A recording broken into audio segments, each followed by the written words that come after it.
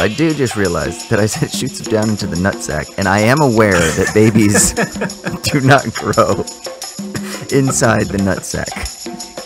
That would be very painful.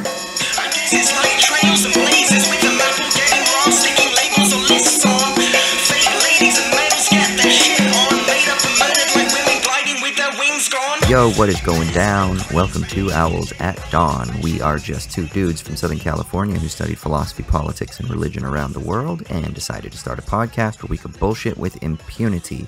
I am Austin Hayden Smith. And I am Troy Polidori. And I forgot to turn my fan off during that intro, so apologies if there was a humming in the background, but fuck it. It is warm here. It's starting to get summertime, so I gotta figure out how to stay cool any way that I can. Yeah, sure, it was a fan, dude. We all know what's going on in your background. it was my vibrator that I forgot to turn off. That was just buzzing on my wood floors. I've named him Ricardo. Ricardo, be quiet. Stop betraying me. Ricardo after People whom? will think. Ricky? Yeah, Ricky Ricardo, man. Come on. Who didn't want to bang him? Everyone wanted to bang Ricky Ricardo. Was he a was he a sex icon back in the day? I think as much as they had sex icons, I think so. Like an unsaid one because he's Cuban, so you can't really advertise that if you're like a white woman. But that's the whole point, right? Is that's why he was that like it's like they sublimated their exotic desires for the the brown skinned or the Latino other, right? Yeah, it had to be a, a sublimated sex object. Yeah, for sure. There should be a, there should be like a documentary on that. Yeah, but it was just wholesome, right? That's how it would. That's like you can tell that your grandma was getting all wet when she's like, "Oh, that Ricky Ricardo, he's such a nice looking man." You're like, "Yeah, I know what you're thinking, grandma." I don't think I ever want to hear you say grandma and wet in, the same proximity ever again. My God. Imagine Uh, someone's listening to this episode for the first time, or listening to us for the first time on this episode. They have now turned off and reported us to the Gestapo or whatever. Yes, the decency, of the humankind decency police. Well, sweet. So this is part two of us going through Derek Parfit's reasons and persons. We kind of teased what we were going to talk about last week. So if you are just turning in for the first or tuning in for the first time, or if you just whatever skip around and uh, the title caught your attention and you didn't check out last week's, I definitely recommend checking it out. Although it's not required, but I would I would recommend checking out the previous episode. But I think this one will because we'll give a little recap and I think it'll kind of stand on its own once we get into it. But we'll be talking about his um, his calculus that he calls the repugnant conclusion. Um, which how would you give a, a brief little teaser so that people will be inclined to stick around, Troy? Yeah, so the basic idea behind the repugnant conclusion, which is kind of a wonderful. Parfit didn't mince words when uh, naming things, right? um, Hmm. it seems like there's not an obvious way to uh, make the case that it would be bad to have a gigantic population of people in the world who are all basically uh, miserable, even though it seems obvious that would be bad. So, why is it bad? That's probably not the greatest tagline. but if you're philosophically inclined, then the idea of not having a good reason for something obvious is something that you're interested in. So maybe that'll um, pique you up. Awesome. Sweet. So that's what we'll be getting into. But before that, just give a quick reminder that if you find value in what we're producing, if you want access to our bonus content, please go to patreon.com slash owls at dawn and throw us some pennies if you can. And if you can't, then just send us emails, tweets, love, share our content, tell your friends, tell your grandmas, and uh, let's get everybody wet. Tell them there's some, some good Ricky Ricardo content on this podcast. That's right. That's right. It's metaphorical, sublimate, sublimated, libidinal sexiness. Grandma learn how to download stat. All right, so let's get into the show. First thing we got to do is we got to start off the episode the way that we start off every motherfucking episode. It's with the shitty minute. This is where one of us gets to rant and rave about something that's pissing us off. Troy, it is your turn. Swing away, my friend. Yeah. So did you hear at all about this uh, little bit of a brouhaha over um, Buttigieg's college affordability plan? Um, I haven't actively muted him, but I have basically Passively muted him. muted him. Yeah, like I haven't like actually gone in and entered that as a muted word, but when I see it, my eyes glaze over. So no. It's actually a great idea to do that um, because I can't. There's so many times when I want to look at my phone just to kind of get a break from doing work or something, and then someone's yelling about Buttigieg, and I'm just like, oh my god, I just don't care. I know, man. Uh, this election cycle might break me. This is Oh, the one. Yeah, there's gonna have to be some some strong like vacations in the middle of uh, the fall and summer, probably. Oh gosh. Okay, so explain to me the brouhaha. So, I mean, it's it's kind of uh, obvious right now that there's a split in the Democratic primary between uh, moderates and I don't know if you call it like progressives or lefties or whatever you want to refer to it as. Um, and it's probably much bigger than just this split ideologically, but the way it's cast is Sanders and Warren on one side, and then the moderates on the other, like Biden and Buttigieg and, and whomever else. And one of the ways uh, that gets cast is through the idea of what we should do about college affordability, um, given that student loans are at a crisis level right now um, for millennials. So, you know, uh, Sanders especially is is touting the uh, free tuition for public colleges plan, and moderates are Mhm. countering that with uh, you know free college for people who have families who make less than 100k or uh, something like that. Um, and I think that's basically Mhm. what Buttigieg's college affordability plan is. Um, you know, enlarging uh, Pell grants, um, and then a free public college for you know people who are middle class and, and below. And uh, obviously, this is all just um, campaign speak, and none of it will actually happen. Especially for the moderates, they're just lying to you. But let's just kind of take it on on on good faith for a second. Um, there was a a quote from Buttigieg responding to the criticism that um, Alexandria Ocasio Cortez leveled against him concerning the sort of um, idea of whether or not we should have universal programs, especially regarding like public college and stuff like that. Um, and this is a thing we've talked about a lot on the podcast: is the the virtue of universal programs um, versus means tested Mhm. ones. And um, Mhm. just for, for people who don't understand, uh, means tested basically just a means tested program just means something is going to um, only benefit a certain part of the population, usually based on their income level, and so you can have to prove that you have that income level or have have your means tested to then get that benefit. Um, so it's not universal; it doesn't just go to everyone, right? So a universal program would be something like public schools K through 12, libraries, firefighters, police, with a caveat there that maybe it's formally universal but substantively not. Um, and so Buttigieg responded to this um, criticism from AOC by saying a number of things, but one being the idea that's kind of cast a lot um, by people when this idea of universal free college, a public college, comes out comes about, and it's that not everyone goes to college, and we shouldn't ignore the fact that not everyone goes to college, and that there's some sort of elitism um, to assuming that everyone goes to college and therefore it should be universal in the same way that like everyone's in danger of you know being like murdered so that we should have universal police or everyone's in danger of having their house burned down so we should have universal firefighters or everyone's in danger of being sick so we should have universal health care oh wait no they don't include that um Mhm. uh, what was that great line from Always Sunny in Philadelphia?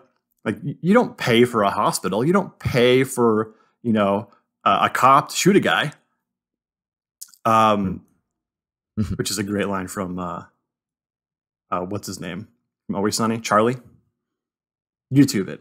Love Charlie. But um, I wanted to just kind of rant for a second about this whole idea that it's a it's elitism to think that uh, college should be universal because not everyone goes to college. That it only will benefit sort of people who are already well off, right? Um, the people whose parents already went to college, they're likely to go to college and stuff like that. And I think that this is really, really wrongheaded. Um, for all the reasons that we always talk about universal programs being a virtue, first of all, being that when a program is universal and benefits everybody, it tends to last, right? It tends to be popular and it tends to last. When everyone has to rely upon a program, um, it doesn't end up getting uh, placed on the chopping block for the most part, um, politically speaking. So you think of programs like uh, food stamps and CHIP, which goes to kids, and um, many others that are means tested programs.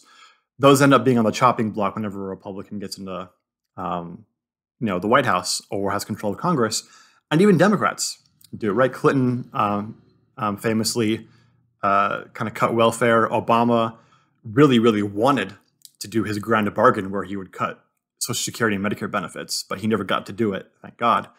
Um, but all these, even though Social Security of all things is you know universal, although it, it doesn't benefit you until you um, retire, and so universal programs are good for that reason, just for the sake that they actually tend to last because they have a broad base of people who rely upon it and who benefit from it.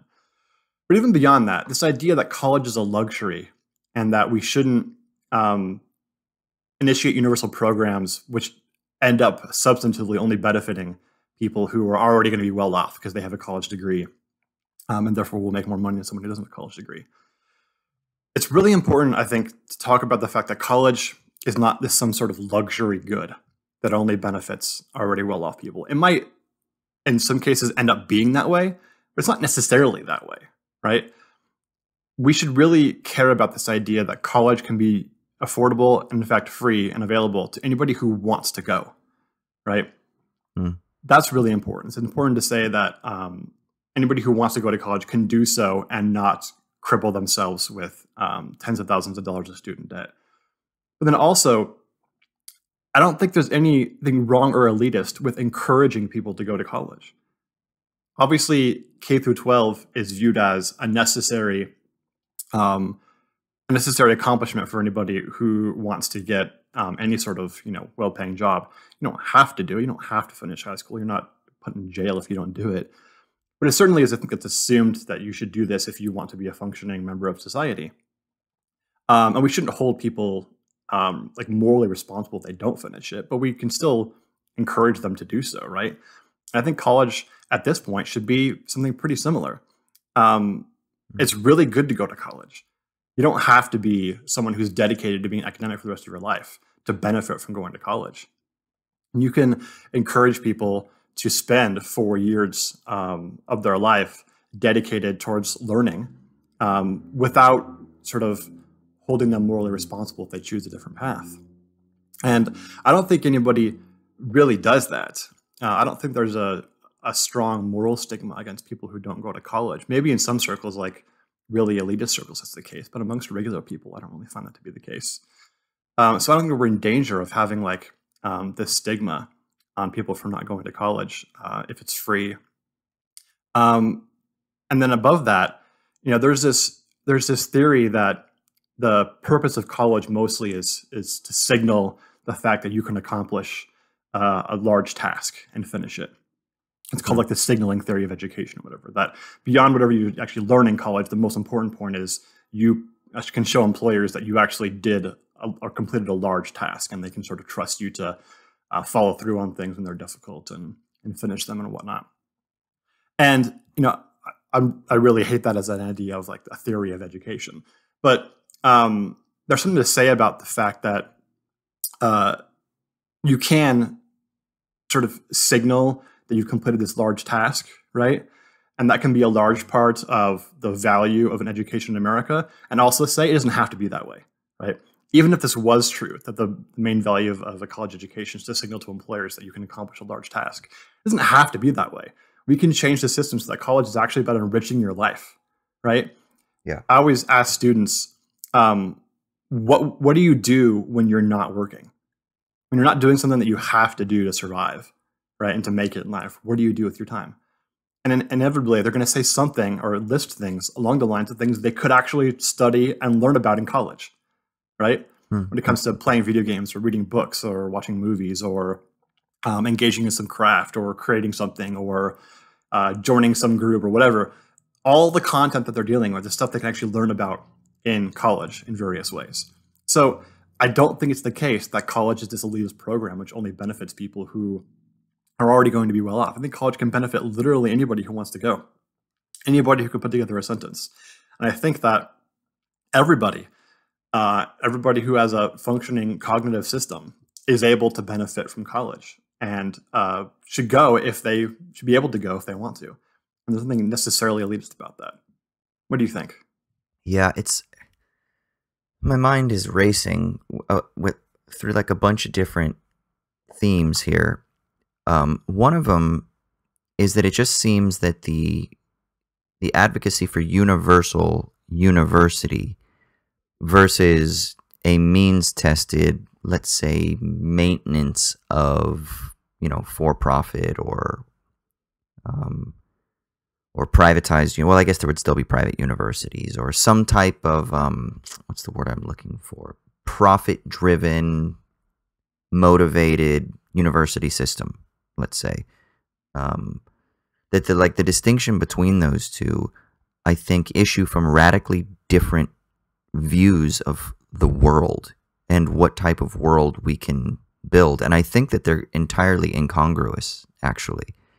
And even though I don't think that implementing universal education would somehow be the catalyst to change the world, whatever the fuck that term means, um, it absolutely is aiming towards a vision of education that doesn't fit easily. Because again, I do think they are essentially incongruous. It doesn't fit easily or nicely within, let's say, the neoliberal views of education that would include the idea that, oh, you go to college so that you can prove to an employer. Again, this instrumental rationality that proves to the employer that you can be a good worker. Again, that you can be a nice cog in the fucking wheel, right? But universal education, something that is valued as a public good, it views education in a completely contrary sense. And I think that the the moderates, let's say within the Dem Party, they whether or not they consciously know it or they just habitually or instinctively, they know that.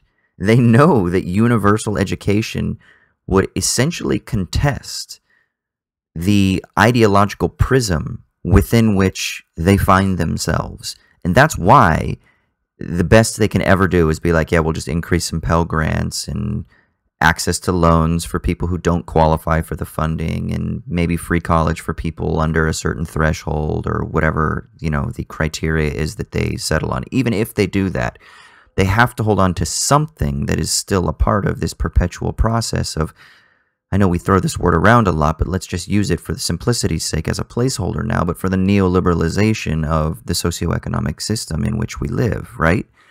So I think universal education is radically profound because it precisely is issuing from a different vision of the world. And that's why, even though it might not immediately seem to be as universal as, like, universal healthcare, for example, it nevertheless still issues from a vision of the world that is contrary to the one that perpetuates socioeconomic alienation through the perpetually expanding processes of neoliberalization. So that's why I think that it's so extremely important, you know? Yeah, I think you're absolutely right that um and not even subconsciously necessarily. It's it's pretty consciously the case that uh, free college, free public college would, uh, among other things, make it so that people when they get out of college are not are able to sort of choose the jobs and careers they want without thinking about money as being the all important factor because they have all this student debt they have to pay back, which starts up in six months, you know? Yeah. Uh, and that gives a lot of power to uh, potential employees um, over you know choosing between different employers and deciding what they want to do um, for a career. Mm. And that's a huge factor, right? I mean, it's absolutely the case that a lot of these um, big corporations want to have um, the ability to threaten, basically, you know, um, implicitly threaten the employee that if you don't basically do what we say, then you're not going to be able to pay your student loans when they um, come due. And that's basically the way that debt functions in society. And so, any way in which we can stop that from happening gives power to employees at the front end, regardless of you know whether we actually have changed into you know um, like a socialist system or something.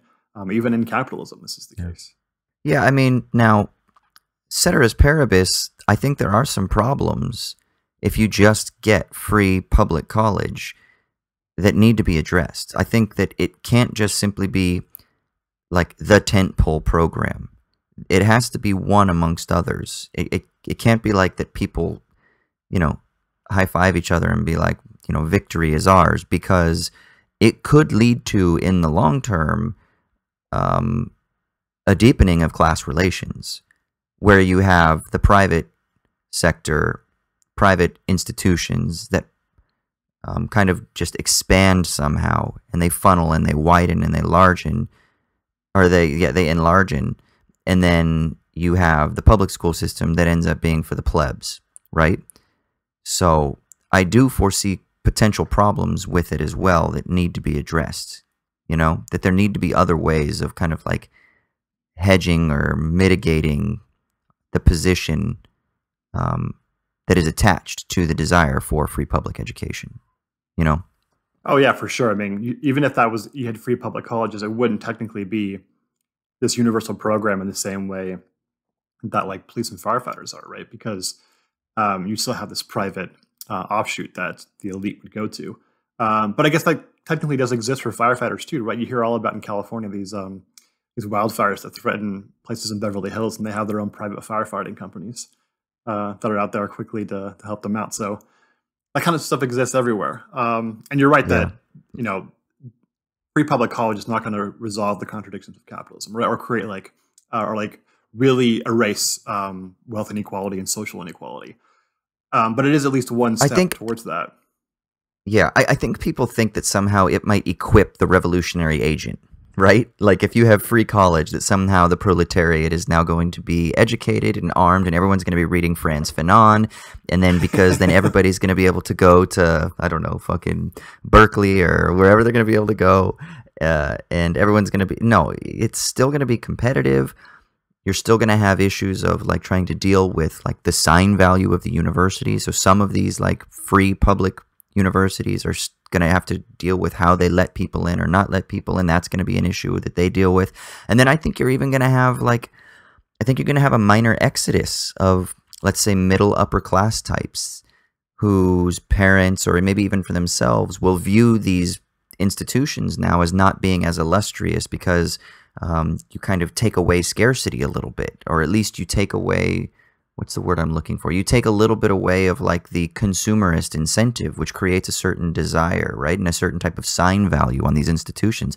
And so they'll like flee towards other pastures, which will then affect maybe the private institutions and maybe they'll start to expand their numbers or something like that. I don't know. I'm completely speculating here, but I could see stuff like that happening. Yeah, it's an empirical question whether that would be the case.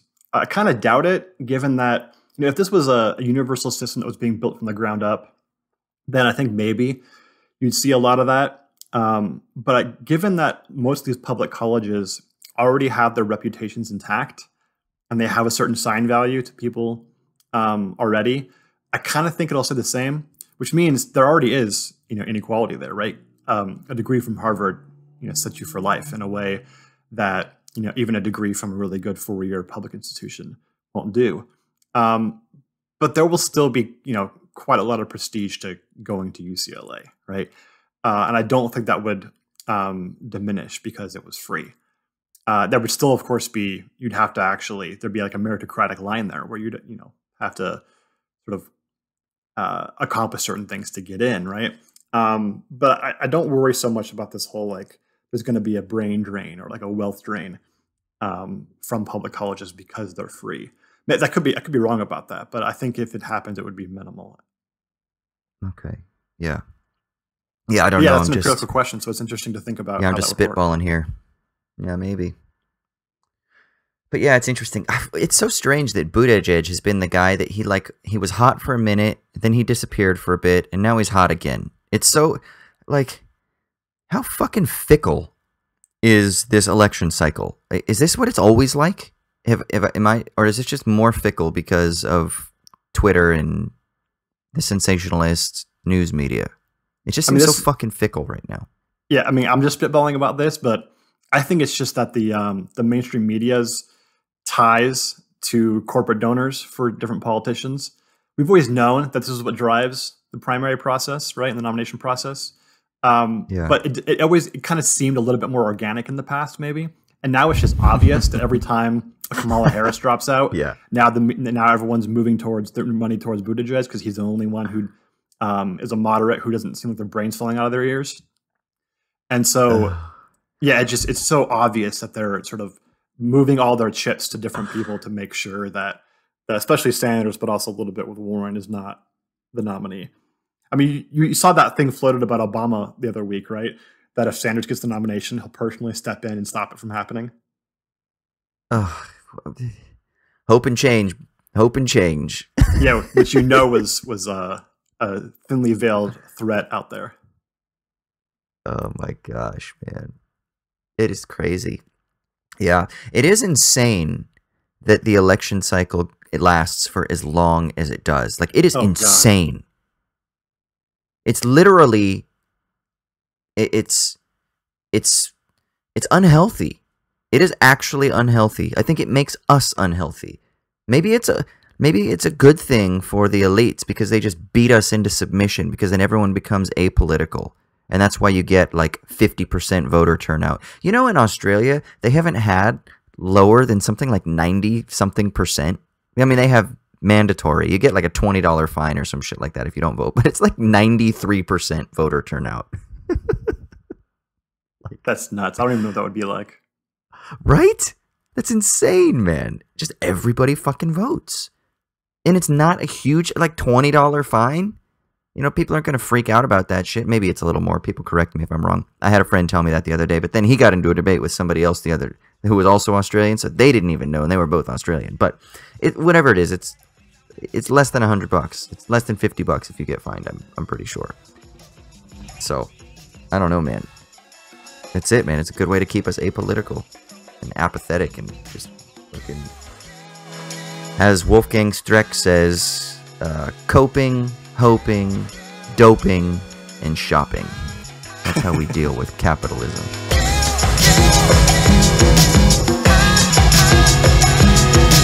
All right, so should we move on to this uh, repugnant conclusion? Let's do it. Lead us into the deepy, deeper waters, brother.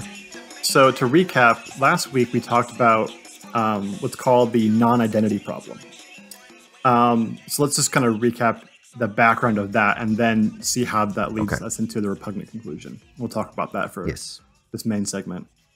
So, Parfit began um, the argument revolving around the non- non- non-identity problem um, by first talking about the idea that identity is fixed by um, sort of the time that a person is um, conceived.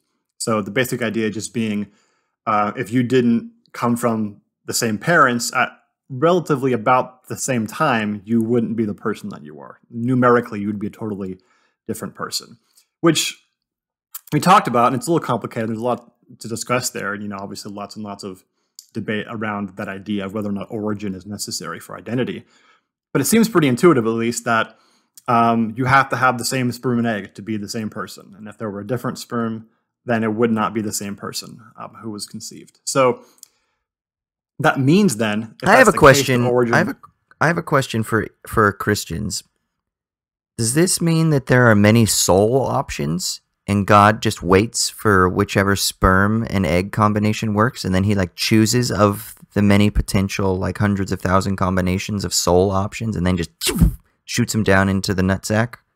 yeah, I mean, aren't souls supposed to be qualitatively simple? Like they don't have any qualities besides, I guess, the identity. I don't know. Real quick though, I do just realize that I said shoots them down into the nutsack, and I am aware that babies do not grow inside the nutsack. that would be very painful.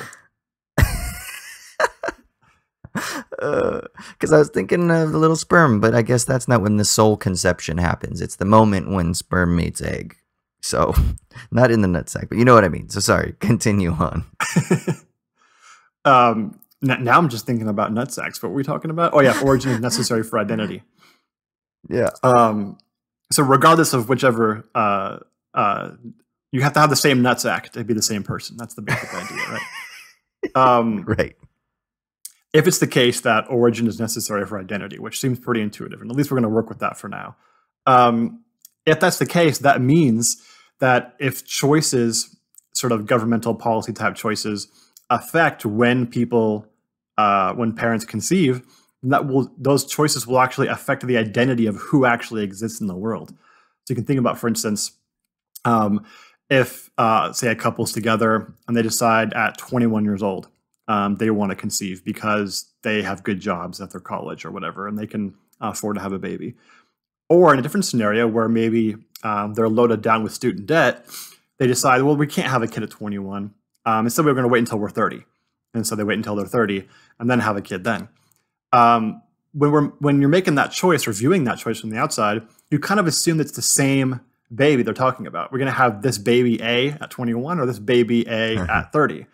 But actually, according yeah. to Parfit, if origin is necessary for identity, it would be actually baby A at 21 or baby B at 30. It'd be a wholly different person numerically um, between those two babies. So we don't think about choices as being that way. But in actuality, if origin is necessary for identity, they are that way. Uh, in fact, waiting from 21 years old to 21 years old in one day would probably um, be sufficient for having an entirely different person. Um, and then there's even a causal sense in which, by delaying, let's say, conception at 21 to 31, that they're actually causing uh, a different. What would you even say? Like they're actually causing different personages to exist, right? Yeah, they're yeah, actually you, like it's it's a causal. It's it's actually like a direct causal relation um, in that future baby that they do decide to have. Yeah, basically every choice you make that has any effect at all on when a person is conceived, anybody is conceived, will make somebody not exist and somebody else exist. Yeah. Which is kind of crazy when you think about it. Like literally, you could yeah, and then wave at somebody, and if that delays them for five seconds from where they're going to go, that could affect the rest of their life in such a way that someone else is born down the line that wouldn't have been born, and someone who would have been born isn't born. Yeah, and then and then you could even expand this to say that like the way that you treat your body while you know the fetus is in development or something like that like if you drink or you smoke or you don't drink or you eat certain types of foods or whatever that you're actually causing effects on that future personhood 20 years down the line 50 years down the line whatever. Uh, as far as who like their progeny?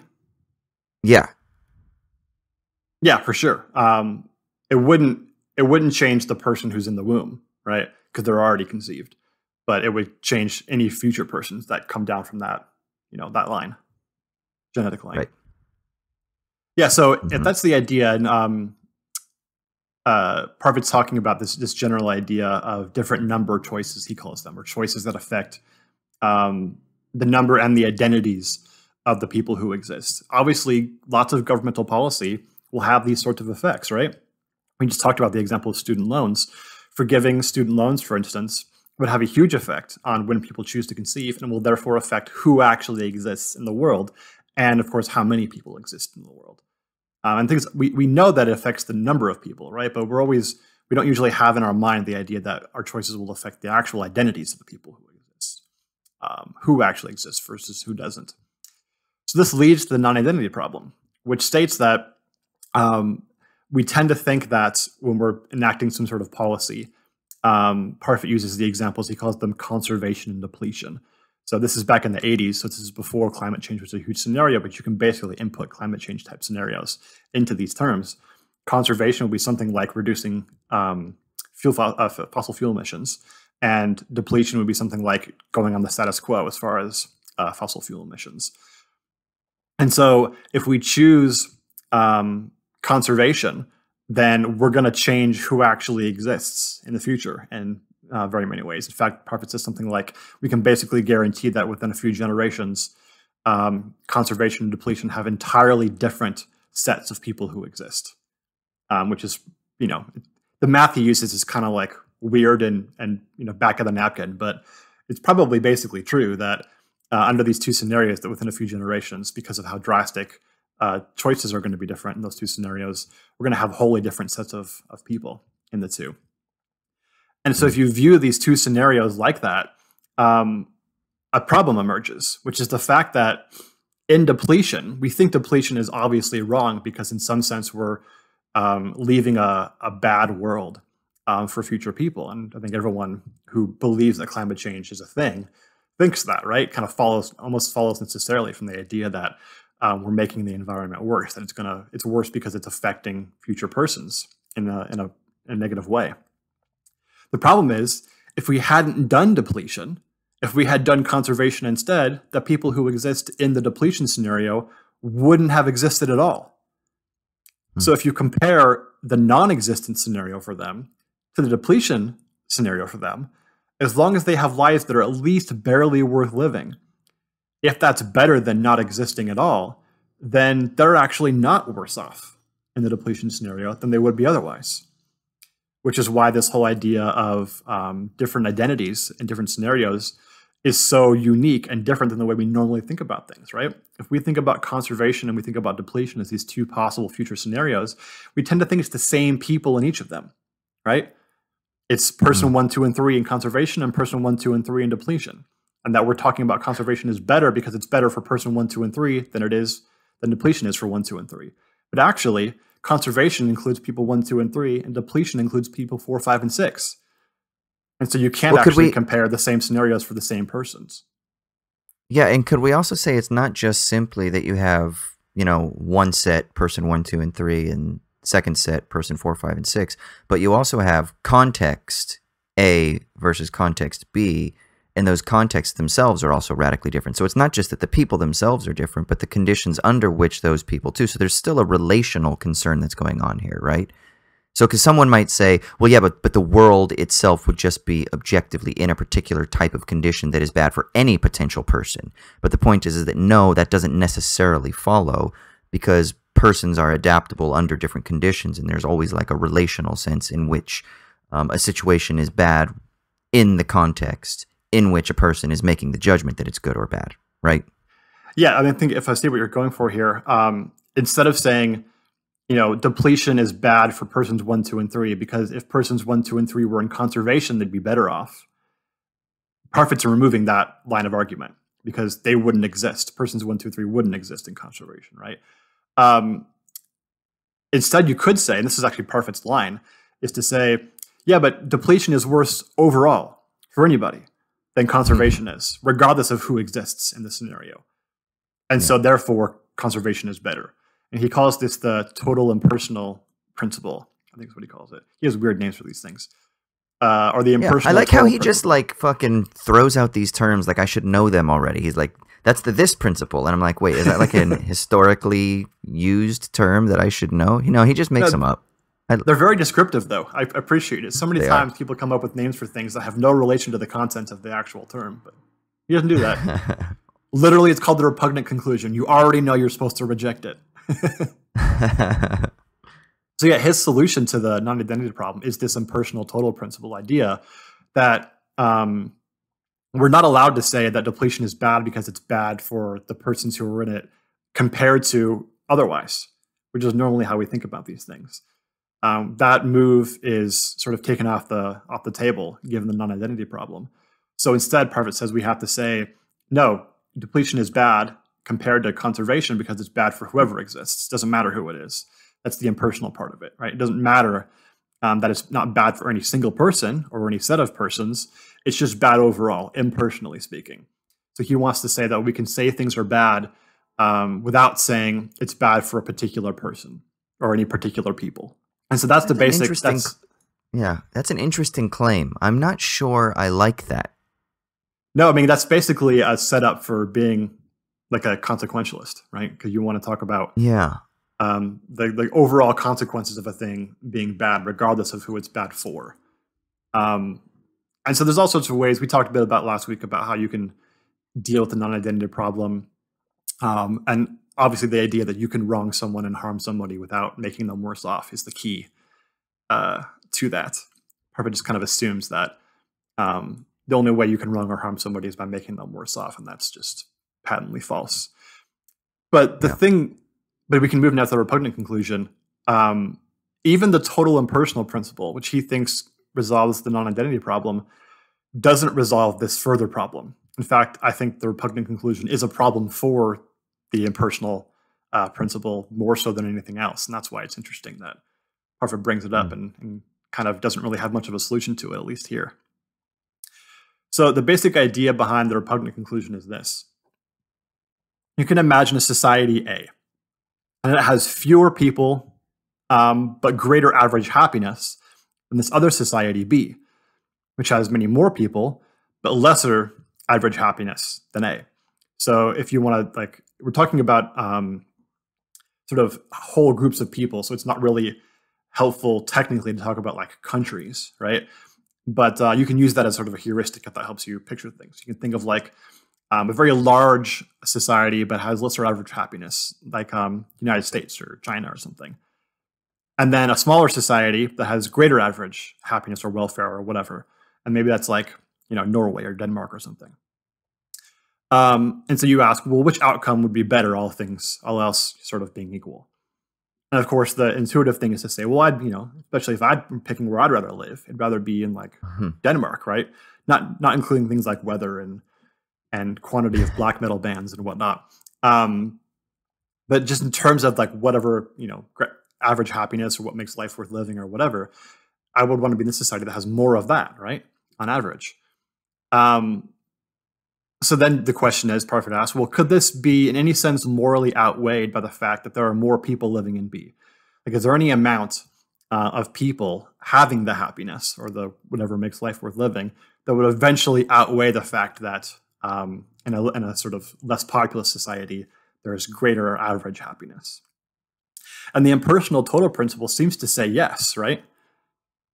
Like, if we're valuing conservation, because there's a greater amount of happiness, regardless of who has it in it, than depletion, then it seems like we're kind of holding a principle which says, well, the consequentialist principle, something like the total amount of whatever makes life worth living makes a society or a world or whatever better than one that has less of that stuff, right? Mm-hmm. And so if we accept that, you know, if a society has lesser average happiness but has way, way more people, then eventually it's going to be better than a society with fewer people who has greater average happiness.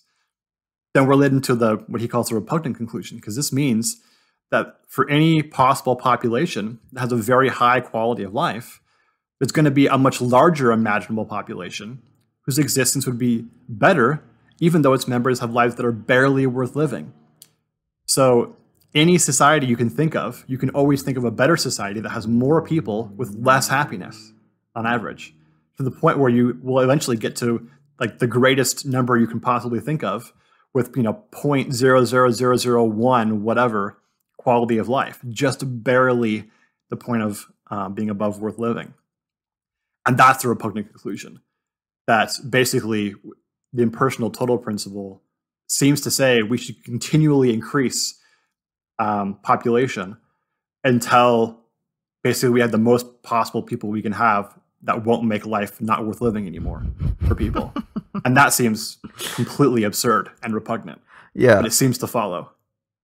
Uh yeah, I mean and does he ever like sit down and use I know he's got those graphs where or like the bars, like the bar graphs that he uses where like, you know, society A is like really skinny but tall, and then Society B is a little bit wider and not quite as tall. And what is it like Society Z? I think it is. It's like yeah, I love that it's Z. I know. I, yeah, he just like skips. He goes like A B C Z. Um, and Z is like just extremely wide and no no height whatsoever because it's vast in population but very poor quality of life. Um, I mean, is it just as simple as saying like so let's say there are a million people in uh, society A, and their quality of life is, I mean, what would we say, an eight, right? Eight out of ten. So yeah, so eight out of ten. So that, that's eight million total. Like, is is that how he does it? And then yeah, yeah. you've got I mean, Society Z. That's not how he does. And yeah, Society Z calculate it. Yeah.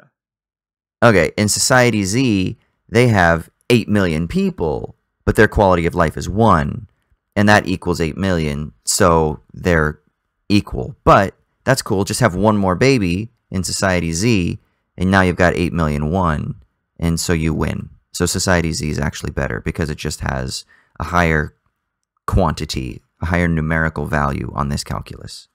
Yeah. I mean, that, yeah, that actually kind of sounds like Society B. So, like, if Society A had a million people with eight out of 10 quality of life, Society B would have something like um, 100 million people with uh, one out of 10 quality of life, which is lesser on average in society A, but greater in total quantity, right? But then you could even think of society Z, which would be like the greatest number you can think of people who could fit on Earth while still allowing that they have a, a quality of life that's above 0.0001. right? So it's like it's most Just as lo- society Z's like the end point where like any more people than this would mean quality of life is now zero or less than zero, and now we no longer have a um, a better world or whatever. Which is just the very idea that we would want to increase, like that it would be the end goal to increase population to as many people as possible until we have a negative quality of life seems absurd, right? Do you think it matters to? I mean, it, to me, it matters, but I mean, to Parfit, do you think it matters to, to explore how it is that we determine what this notion of quality of life, like how we determine what that even means? Yes, I mean he bas- he basically yeah. has this this fun little philosophical thing, and this is kind of like an uh, you can kind of speak to this, I think, an economistic type of move to say Yeah. I don't know what the quality of life is. I'm not claiming I know what it is, so I'm just going to refer to it as X. Like he literally says, whatever makes life worth living, as like a variable for whatever you want to input into that. Because whatever you choose about that, it's still going to function. Um, this problem will still function the same way. He's assuming, of course, that it's you know quantifiable. Uh, even if we don't know how to quantify it, it is quantifiable, whatever it is. yeah, what makes life worth living? I mean, it just seems to me like such a socially contingent and culturally contingent concept. So I uh, I went out and I had dinner and was hanging with a buddy of mine tonight. And if he's listening, what up, Brendan? Um, but he uh, he jokingly has this. Well, I don't know actually how much of it. I think he actually does have the bracelet. I think his wife got it for him. But it's um, what would hunter gatherers do? So instead of what would Jesus do, it's WW HGD, like because he's obsessed with uh, like pre-agricultural society and whatnot. And so we had like a long chat tonight, and usually whenever we get together and hang, we we somehow get into this topic where we talk about the the vast difference, um, without being too repetitive here, the qualitative difference between, let's say, uh, pre-agricultural, pre-civilizational, like think Jared Diamond stuff. We talked about Jared Diamond on a podcast episode a long time ago for people that remember that. But like, you know, like a, a society that doesn't that isn't defined by all the ills that certain people attach to the that are introduced with agriculturalism. You know, like social stratification and gender divisions and um, you know a greater propensity towards uh, scarcity and then competition because of scarcity and mimetic rivalry, et cetera, et cetera, et cetera. Right. But if you have a, a society prior to that, um, whether this is mythical or not, let's just say that it's historical reality. That's such a qualitatively different cultural societal framework that how they would determine what makes life worth living seems to be so vastly different than, say, a, our particular society. What, what what makes life worth living is, I don't know, um, easing discomfort, you know, making connections. Like what what is it? I mean, are those things just universal principles? Are those like, are, do they universally do they transcend cultural context and societal context? And I'm not sure that they do. And I think, think- and I think if we start thinking that way, then I think that really problematizes the entire calculus. I think Parfit's response to that, and you know, I don't agree with him on this, but would be something like, sure, the the means with which we get what makes life worth living differs in different cultural contexts.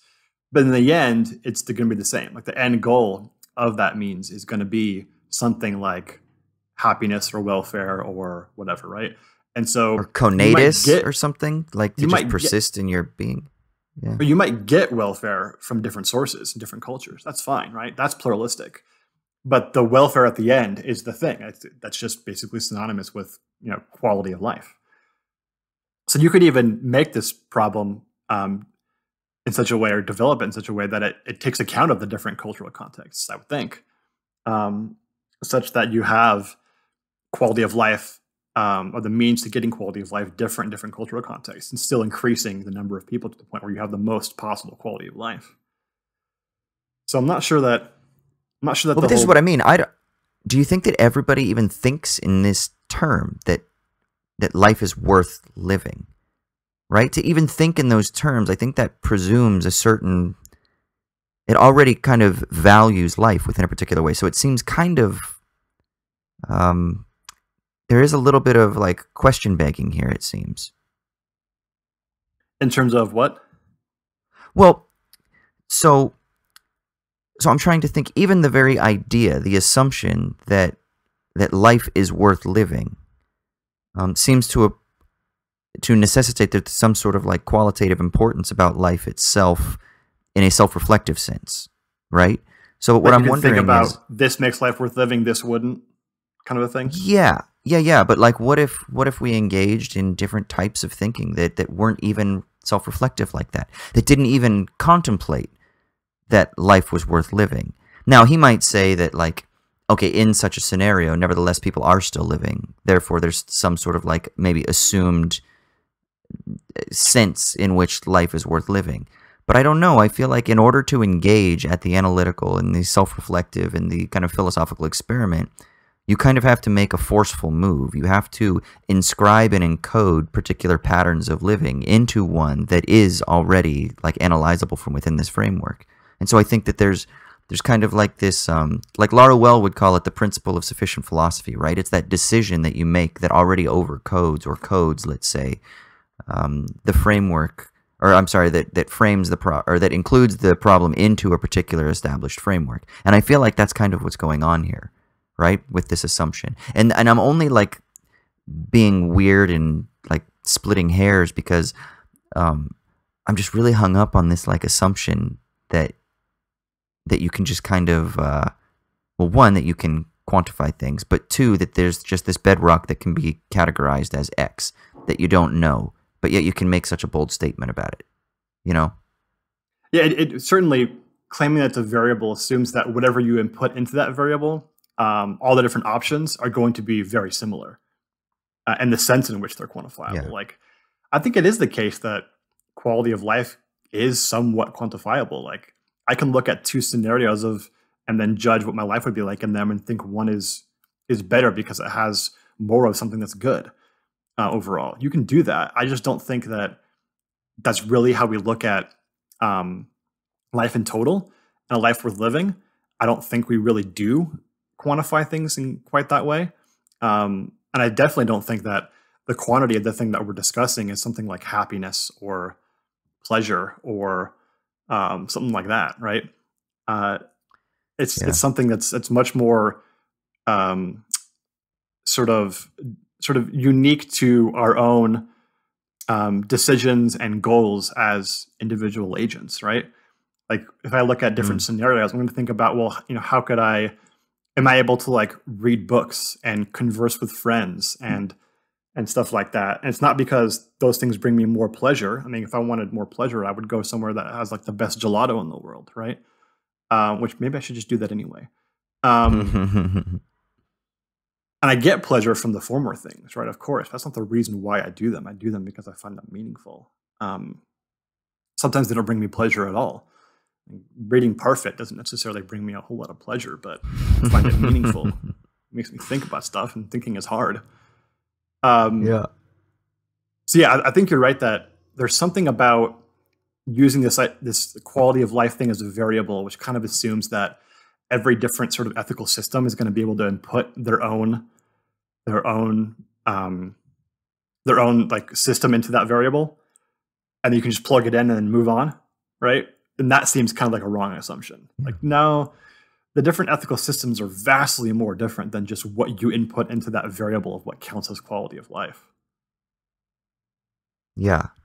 I mean, what's the next step for Parfit after the repug- repugnant conclusion? Like, what does he do here? I mean, not much. I think in, Okay. in his later book on what matters, he addresses a little bit more about how you might deal with this. I haven't read that though. Um, yeah, this is kind of a problem for his own system, for the idea of having uh, sort of impersonally based reasons for ethical action, um, not about how it affects individual persons, but instead how it affects you know the whole of which persons are a part. And so the repugnant conclusion it's he names it that I think because he's like this is kind of follows from the view that I'm touting, but it's awful. so we need to find a way to reject it. And he refers to this thing called like theory X or something as the theory which will account for why the repugnant conclusion is repugnant or why it's wrong or should be rejected. but it's theory X because I don't know what the theory is yet. But we got to get to it because this is obviously a bad conclusion. Hmm. What is where does he go from here in the book? Because this is only like what chapter twenty or something like that.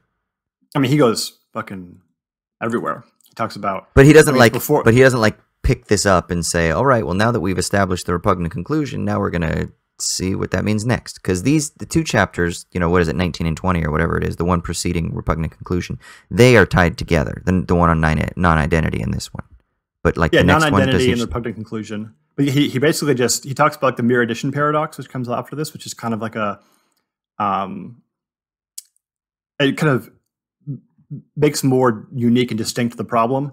He rejects like the idea of um, averaging out happiness as a problem. The, the obvious reason Okay. that um, if average happiness is what matters, then you could actually just like remove people from the system and increase the average That's so right? Which would eventually actually lead you to have one person, like, and that one person who has the highest happiness would make that greatest average happiness, which is a huge problem. Um, yeah, and stuff like that. So he's that's just kind of so like, fucked up. I know, right? that Um, would actually make a really good dystopian sci-fi plot, wouldn't it? yeah, it sounds like an Ursula K. Le Guin novel, right? Or short story. Yeah. Just find whoever has the least happiness in society and off them to increase the average. Yeah, yeah, exactly. Yes, I mean Huh. this is basically the end of the book. Then at that point, um, Okay. And so I think what he, what he holds is we should still have this impersonal impersonality idea or impersonal reasons for um, for for action, but then the repugnant conclusion is kind of left as like the open problem. Which is a pretty big, fucking big open problem. yeah, I mean, do you within his system it's a problem? Do you buy it that it is a problem or do you just see that it's within his system it's a problem but that you can just kind of be like, yeah, but the system kind of falls apart ultimately, so we look elsewhere. Yeah, I mean, I have other reasons for rejecting a kind of consequentialist um, view of you know normative ethics, but I think this is another like reason to reject it. I think this is kind of just like a reductio of the system, right? The idea that we should just have at least of the total part of the impersonal total principle. I think the impersonal part's wrong too for other reasons, but the total part, the idea that we can just sort of total up um, the quality of lives, the qualities of life things, or whatever, um, and then consider a world better because it has more of those. It's just not. It's not even how we anybody thinks about things, right? Like we don't look at um, some ancient society or whatever and be like, yeah, but we're judging its quality or whatever. Like, yeah, but how many people did it have, right? Like, what was the total uh, quality of life? You know, the sum aggregate of all of it. Like, we just no one thinks about things that way, and you, and uh, you shouldn't always appeal to like our intuitions about these things as being proof of what's right and what's wrong. But it should clue us into the fact, I think, that this is just not how we think about things at all. And so, obviously, it would be bad if society Z existed, right? Um, and there's really no way around that. Although there is something to say about. I mean, I don't know if it's the same. Uh, well, first of all, I, before I get into that, because I'm not sure it fits, but it just popped into my head and I want to bring it up. But uh, first thing is he like the only philosopher to ever use reductio against himself? like, Well, no, I mean, usually certainly, Like, usually- No, go usually ahead. people do it like against other people, but he's kind of like, hey man, my own argument itself, when taken to its most extreme, is fucking repugnant. So moving on. well, you know, I, I think Parfit was actually. No, I, I'm- I apologize if I'm wrong about this, but I think he was autistic, um, or maybe like Asperger's or something. And so I kind of appreciate that he's, and you can kind of see this in his writing, right? Like he just lays out stuff out there, and he doesn't give a shit if it speaks against his view or not, right? Um, he's just kind of like laying out all the pieces, right, and ordering Yeah. them in a certain way. And I really appreciate the kind of like honesty of it. Like he's not bullshitting at, le- at the very least um, like so many philosophers try to, right? And it, it kind of makes you, it kind of weirds you out at first when reading it because the way he writes, it kind of, we talked about last week, kind of reads almost like an undergraduate, the simplicity of the writing. But then I think it's kind of a virtue of it that it's just, it's right there on the page. It's, you don't have to like try and like work to interpret it. He literally puts the like evaluative content in the name of the term. It's a repugnant conclusion, right? Hmm, Um, I kind of dig that. I appreciate it. I don't know if I could read only that style of writing. Um, but uh, I appreciate that it's just out there. Yeah. Um, now, what do you think about, you know, because obviously we do live in a world that does use data and various metrics to determine like the well-being of societies you know things that we should criticize like gdp for example as being a measure of a nation's wealth well-being vitality production prowess etc um, you know which you know they're not good markers generally um, Yeah. because they don't have any kind of holistic or qualitative concerns and so there are all kinds of other metrics, you know, that people try to implement, like, well, what about gross national happiness, which I think also is kind of an odd metric, but maybe it's getting us in a better direction at least. But um, but I wonder how we could think about, like, let's just say GDP, for example, from within this type of consequentialist uh, ethic that he's establishing. Do you have any thoughts on that? Yeah, I'm glad you brought that up because I wanted to talk about this too, and I have some things I want to um, pick your brain about. But yeah, like the obvious problem with like a gross domestic product and weighing that as the quality of a society is one, uh, why would we assume that that's a measure of what's good? And then two, that doesn't talk about the distribution of whatever it is that it's measuring, right? It could be extremely um, unequal, and that seems to be a problem too, right? Like, You Right. could have a very high gross domestic product, and only one person has all of it. You know, so yeah, feudal systems, for instance, you- could measure different uh, manors or whatever, and then determine the the greatest uh, uh, feudal land. But then it could be that the lord has all the wealth, and never no one else does. Um, and- But the issue is, if you replace that with like a like a gross national happiness or whatever, um, maybe you're getting closer to measuring what's good, right? Um, but then, of course, you're not measuring the distribution of that goodness. That's a problem. Um, and then also, there's this huge problem about well, what does it mean to measure happiness? Like people Yeah. probably don't have a very good view of even how happy they are. I remember, you know, so it's the Scandinavian countries always scored very high on these happiness inde- indices. Um, and I remember watching this documentary that was like went to um, Denmark and started interviewing people and asking them about what they think about the fact that they're so high on these happiness indices every year. Um, and it was so funny because they're just like a lot of people, and maybe this is all just you know anecdotal evidence or whatever, but most people were just like, "Uh, we don't really understand or get it. Like it doesn't seem that big a deal. Like actually, people in Scandinavia tend to be kind of morose and um, and a little bit downtrodden, and so we don't think of ourselves as like running through the streets, like you know, um, uh, like bacchanalia or whatever, and just like drinking wine and having sex and you know listening to heavy metal or whatever. Um, and that I think points to something really important, right? Like people, like we, there's probably a lot more partying that happens in America than happens in in Scandinavia. Um, but that doesn't necessarily make people happy or self-reflective about their happiness or whatever.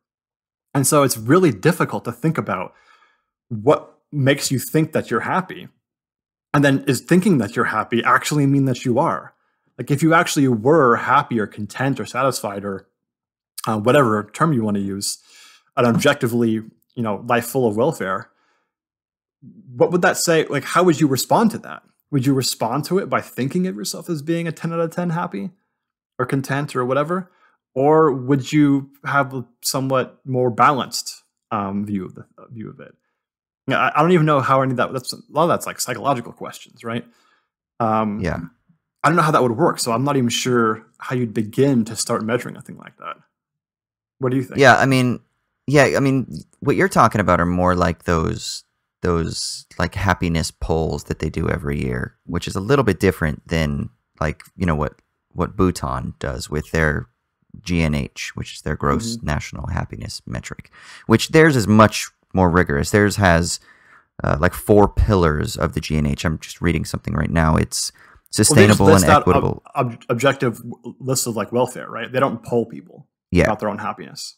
Well, they do. Um, they do look into subjective survey-based things as well. So they do. They do.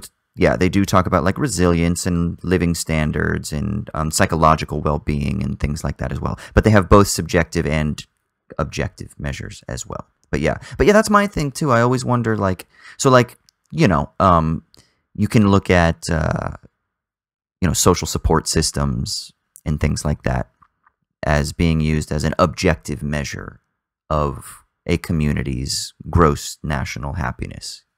Um, you know, are people in want, economic inequality, things like that. Access to clean water. I mean, those would be like basic things, right?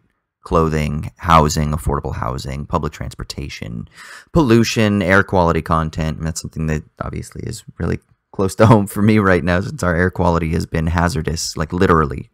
I'm not being rhetorical. It has literally been hazardous uh, the last couple days and then last week and week before too. But um, you know, stuff like that.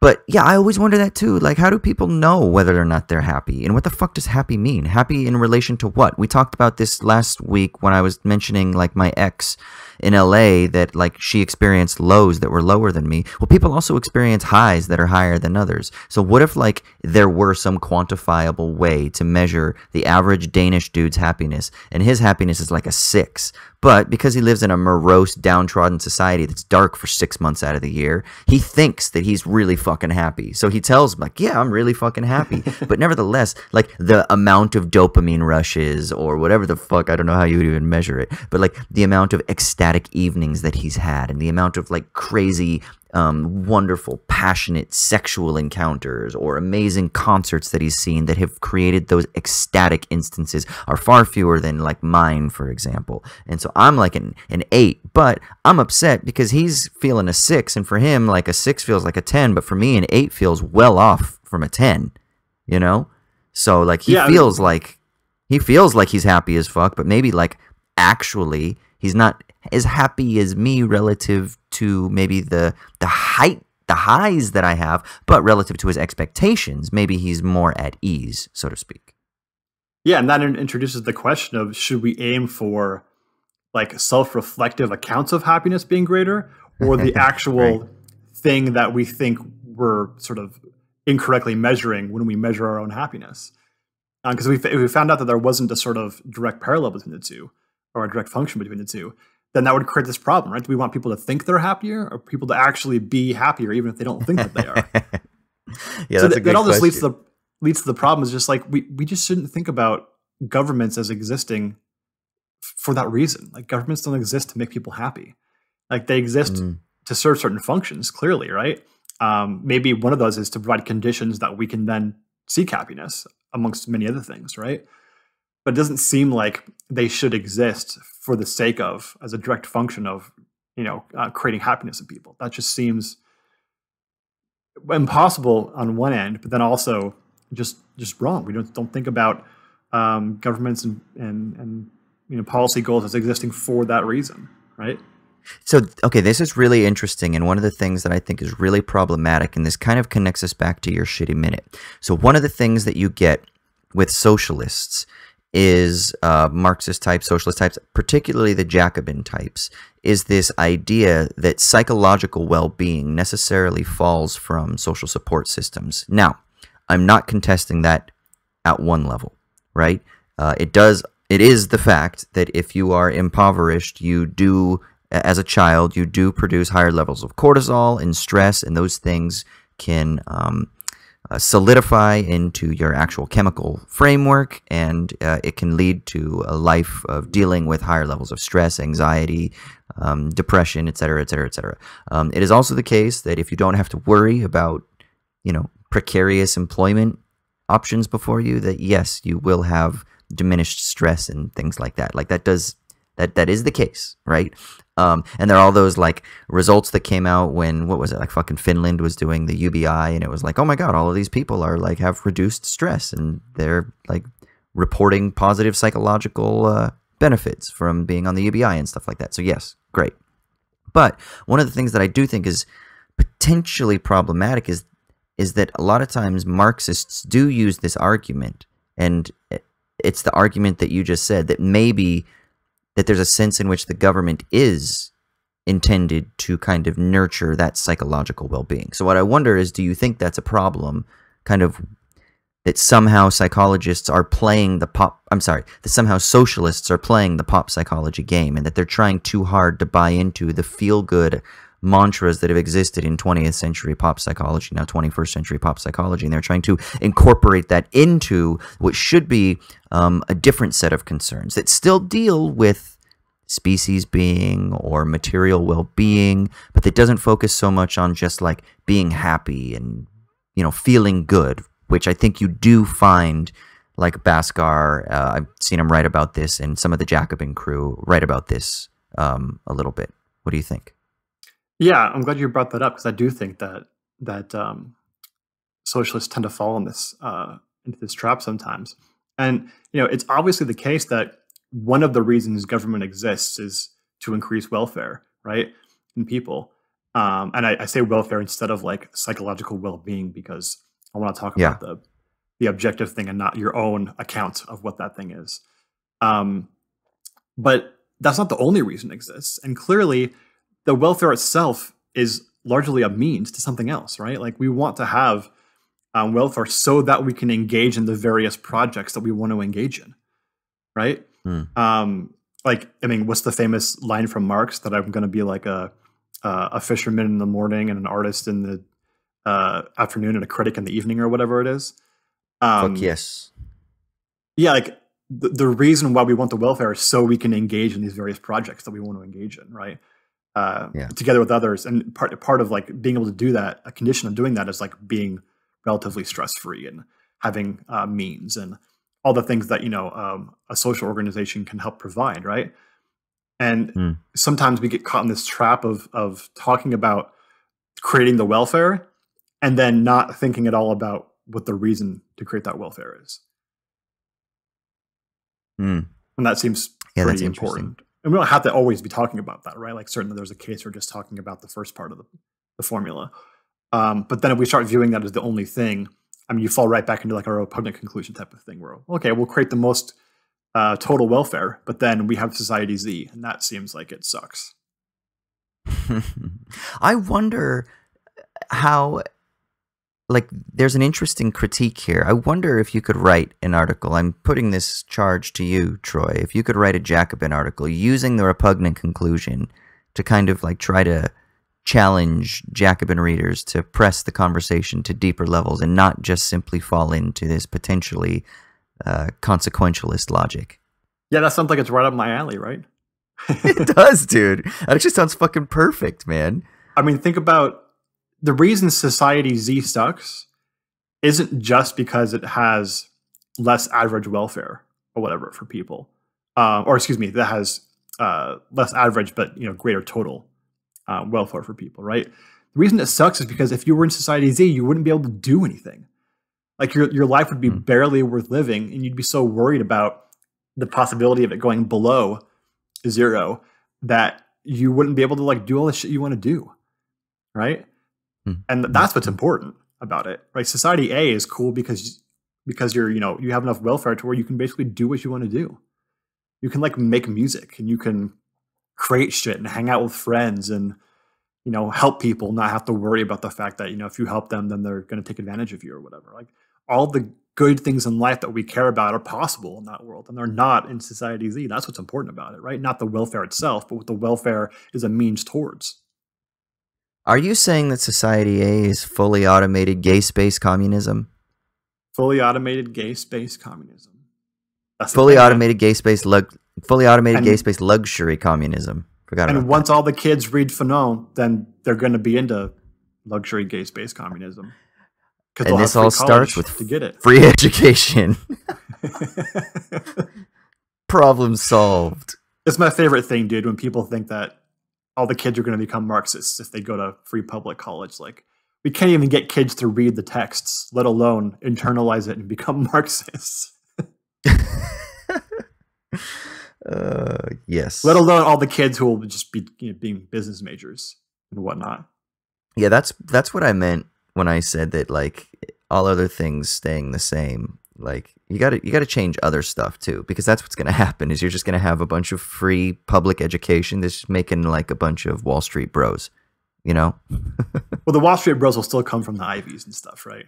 But uh No, yeah, man, they come from San education. Diego State. They're in Sigma Chi and shit like that. Like That's where. Well, I mean, I mean, maybe like the Gold Goldman Sachs Wall Street Bros, but you know, like you know, it, there's all kinds of traders and commercial lenders and shit like that around the world that uh, are gonna they're gonna the middle class Wall. Street Bros. Who's going to That's actually right. make a Yeah. movie about the middle class Wall Street Bros? Sounds like something I should do. So you've got your Yeah, it's like- assignment for Jacobin, and I've got my movie assignment. yeah, like Silicon Valley is that for tech bros, right? It's like the middle class tech bros, but they need to have that about Wall Street. I mean, I'm not kidding, man. I grew up with. I mean, they wouldn't be Wall Street because they would be like, you know how there's like Broadway and then off Broadway. This would be like the equivalent of off Wall Street, but they're still like finance bros, but they're just Southern California finance bros. And yes, some of them went to UCLA, some of them went to Berkeley. Probably the guys who are like the lead portfolio managers and securities analysts and things like that, but not necessarily. You know, some of them just went to Pepperdine. Um, not just. I'm not slagging off Pepperdine. Some of them went to Pepperdine. some of them went to S- San Diego State. You know, UCSB. You know, decent universities, but they're not necessarily like the elite. They didn't go to Penn, you know, or Yeah. fucking Columbia or Harvard or Yale or whatever. You know, maybe there's like one or two people at the bank, like the CFO who went to Princeton, but not necessarily. You know, those business development officers. Yeah, I'm into that, dude. I want to see that. Yeah, dude, and they're they're it's my bros, man. It's the guys that I grew up with. So I should fucking it's you know what I could do? I could mix it would be like the big short meets Silicon Valley meets um what was it? The real Entourage. bros of Simi real bros of Simi Valley? Oh, dude, Real Bros of Simi Valley is where it's at. It would definitely be like that. Yeah, and then Entourage. And then it would and it would be based around like an entourage of a few dudes. yeah, So but definitely, like Real Bros of Simi Valley is the urtext of the middle class bros, right? yeah. It's just doing Yeah. that with OC bros. All right, so listeners, please go to patreon.com slash owls at dawn to support and finance this film project. The Real Bros of Wall Street, That's it, dude. The real bros of off Wall Street. of Off Wall Street. There we go. Uh, all right, is there anything you want to say in conclusion about the repugnant conclusion? Nah, I think we covered it. Yeah, I think so But, too. Cool, but if cool. y'all have thoughts, definitely send them our way. We'd love to discuss this further, especially me. Please do, our friends.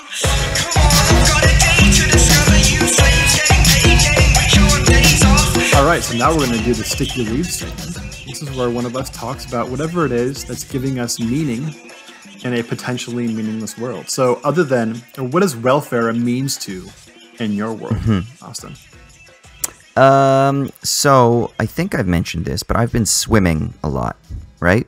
Yeah, and it's one of those things where i mean i really hope i really hope this isn't just a fad for me but i really hope because i do love it. I've grew i grew up swimming.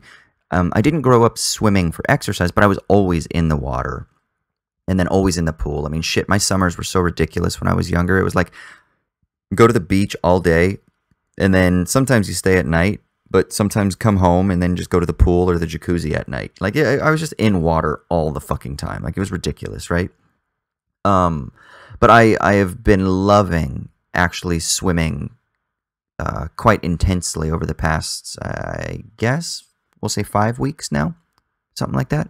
Um, you know, four or five weeks, and I've been swimming quite a bit. Uh, I'm actually I'm getting tattooed in like ten days, so I'm trying to swim every day because it's going to be about another month after I get tattooed uh, before I can swim again. So I'm, I'm also trying to get all of my time in. But then I'm thinking, you know what? Maybe a month break will be nice because then I won't burn myself out on it. But like I, I'm absolutely in love with it, and it's one of these really strange things because, uh, you know how when someone picks up a hobby, like I remember one of my best friends, a guy named Jeff. Uh, one of one of the bros that I used to hang with. He's not a finance guy though, but um, uh, one of my buddies, Jeff. His dad, I think, I'm pretty sure this is true because I, I only met him like at around this time, but I'm pretty sure it was new for him at the time. But he was having like he went through a divorce when he was in like his 40s, and, and then he got really into Harleys, and he now has like multiple Harleys, and then he got really into like going on bike runs with other Harley dudes, and it became like his way of life. He became obsessed with it. It was like his new obsession, you know. And Jeff kind of has this personality too, you know. Like when he picks something up, he kind of obsesses of it. Like whether it's playing the guitar, or whether it's golf, or whether it's fly fishing. Like that's his thing right now. He's fucking obsessed with fly fishing. He grew up. He used to be a professional fisherman, right? But that's like his obsession. He's like tying flies every day or whatever. And so I feel like I kind of uh, have a similar personality in some ways. And, you know, I'll latch on to something and I'll obsess over it. And, you know, you see this, like people get obsessed with being paleo or obsessed with a ketogenic diet and obsessed with doing CrossFit.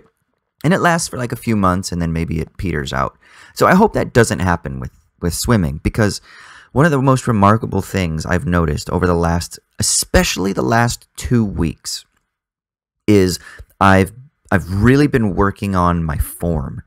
So that includes my breathing and uh, and really tightening up my form. So uh, you know, I, I try to swim at least a kilometer, and the goal is I, I try to swim like two kilometers most days. So, but um, so I'm not swimming like sprints, even though I will do sprints, especially like the last hundred meters. I usually always sprint, and sometimes at like round numbers, like I'll sprint like the tenth lap or like the 20th lap or whatever. Um, and, uh, but I'm really focusing on form and I'm trying to be so intentional. But at the same time, um, I, I wear little earplugs so that water doesn't get in my ears. And what it does is it creates like almost like an insulation in my mind. And it allows me to, it's almost meditative. It, it's because you are just focusing on breathing and it's like you almost count. You know, you can do what's called like a two kick, where with every like uh, when you catch on a freestyle stroke, uh, you you kick down, and it's like a one-two kick rather than like a constant like flutter kick. So instead of doing that, you you can do like a a one-two, a one-two, a one-two, a one-two, and it kind of creates this really like rhythmic meditative thing. And so you know, like 30, 40 minutes straight of swimming, um, it it actually creates like it, it's so peaceful, but at the same time, it isn't just dead mental space because I've also found that my mind is able to do like three or four, or it's able to hold like three or four different streams of thought at the same time. So, like, I will literally be counting my strokes and I'll be like breathing, and I'm like, oh, I'm going to breathe here, and I'm correcting my form, and I'm like focusing on that. And then at the same time, I'm like analyzing complex political, economic, or philosophical texts or problems or something weird like that.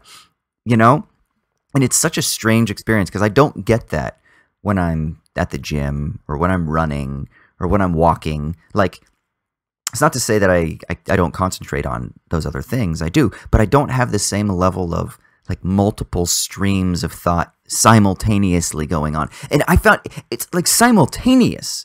It's not like one crowds out the other. They're both happening at like the same time for 30, 40 minutes at a time.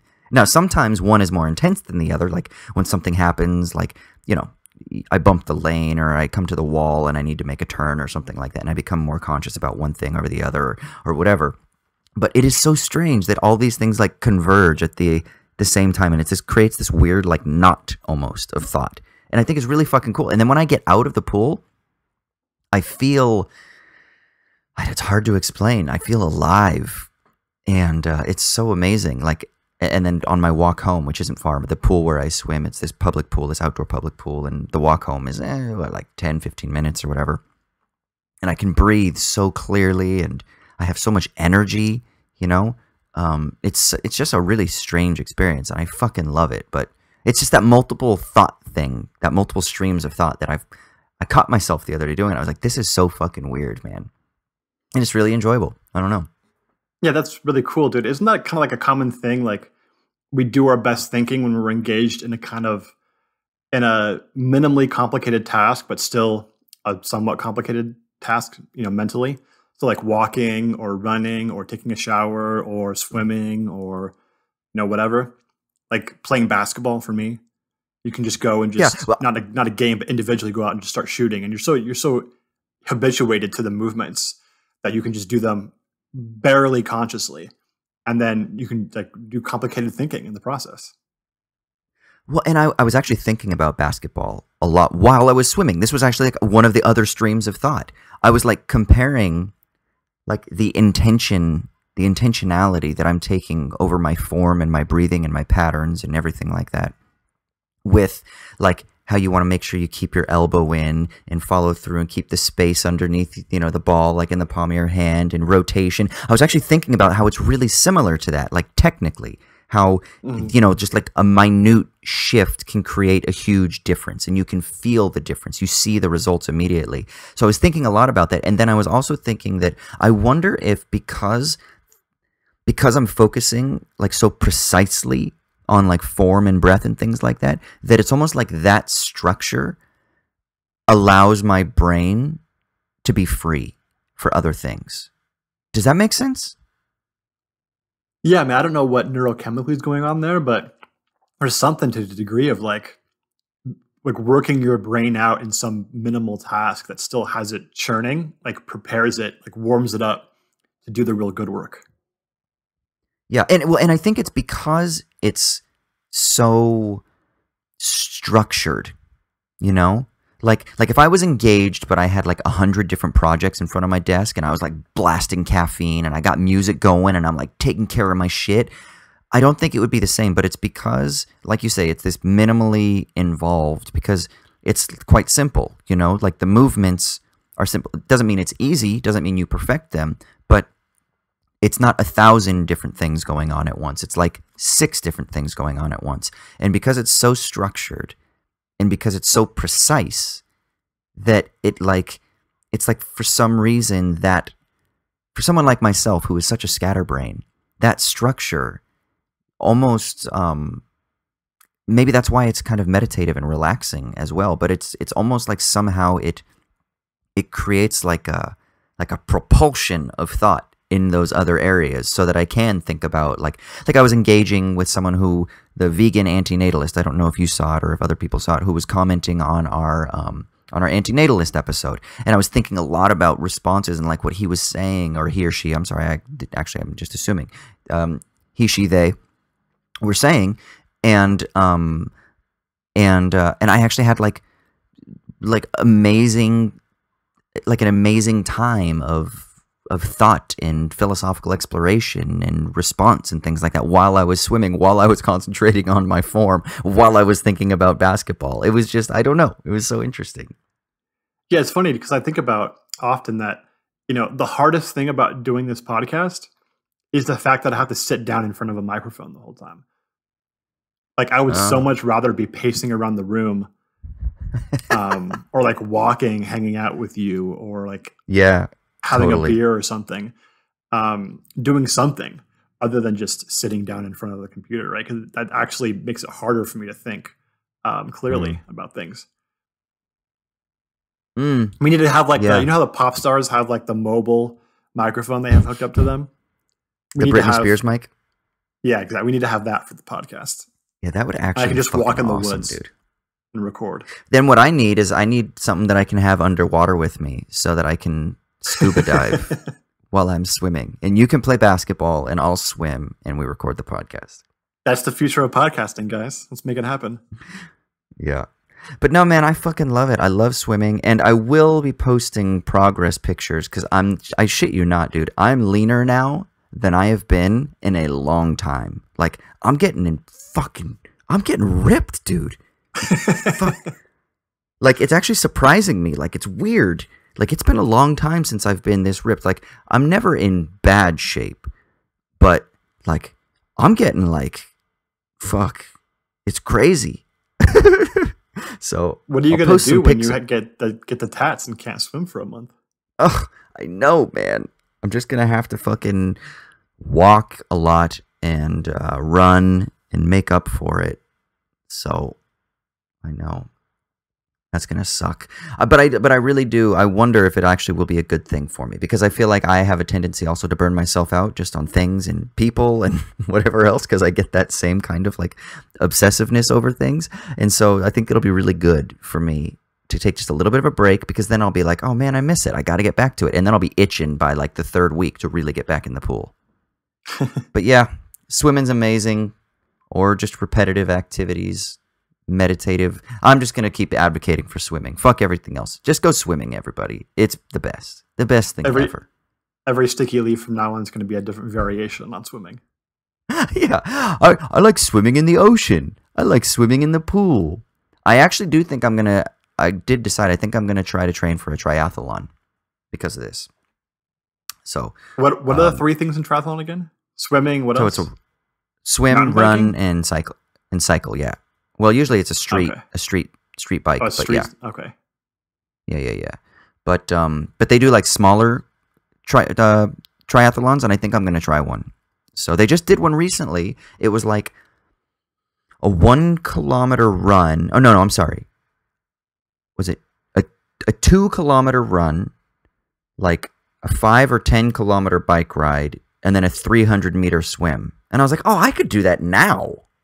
So, um, but I'm gonna try to find something smallish like that. Only thing I'm afraid of is swimming in the ocean because I'm afraid I'm gonna get eaten by a shark. But that's it. Only because I'm in Sydney. If I were anywhere else in the world, I'd probably or South Africa, I'd be afraid too. But fuck, I'm from Southern California and I grew up in the ocean and I was never afraid of sharks. But for some reason, here, it's always in the back of my mind when I'm in the ocean. So, so uh, I just got to Do get your over. tats make you stand out more to sharks? yeah, man, because I'm darker. I look more like a seal. And then, of course, if you're wearing like your wetsuit or something like that, then you're gonna look more like a seal. But Oh, I'll yeah. figure it out. At least I know that a shark doesn't want to kill me, so he'll just bite off my arm and then let me bleed out, and then there's a chance I'll survive. It's not like he's gonna eat me whole.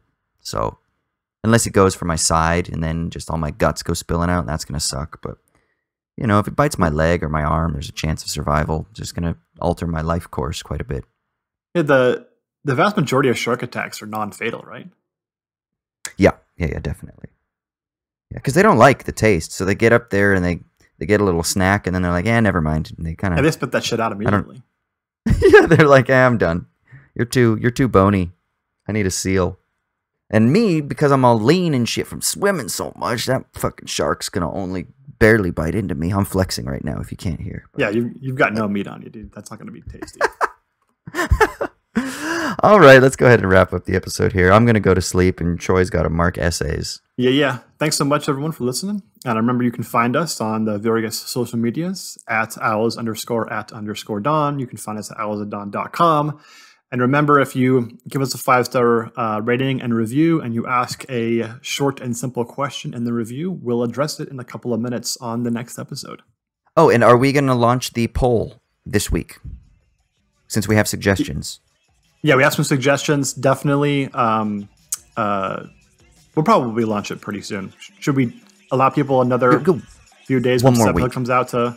Yeah. Yeah, yeah, yeah. Okay, so when this episode drops, which will be a Monday, uh, you'll have one more week until the following episode, and then we'll announce the poll. And then uh, we'll start off the new year probably, actually, with the first patron led topic. Yeah? Sounds good. Okay, sweet. Well, I think that's pretty much it, unless there's anything else you gotta say to all the grandmas out there. Uh, just one more thing, grandmas. What's that? Das Vidania, Merry Costume.